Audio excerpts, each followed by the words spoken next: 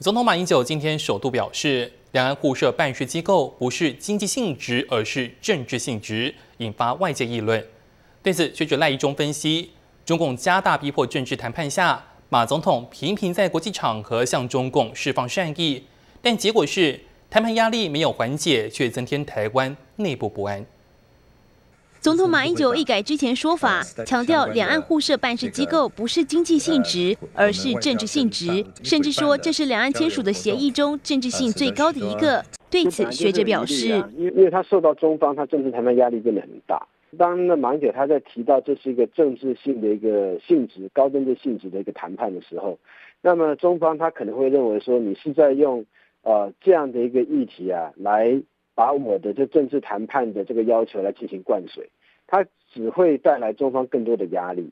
包括这次向美国访华团提出两岸办事处新解，以及在双十文告提及的两岸关系不是国际关系。学者认为，马总统近来在国际场合的两岸论述，既没有缓和中共政治谈判压力，反而增添国内民意不安。找机会再向中方在释放善意，希望说能缓和对方对台湾的这个压力。这样做法是背道而驰，他应该寻求台湾民众的一个同意，然后团结台湾的民众来面对中国的压力才是。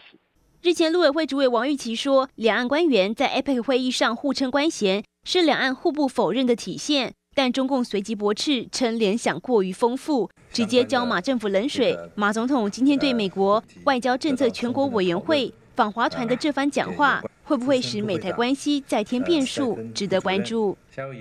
新唐人亚特电视陈威模、陈真，台湾台北报道。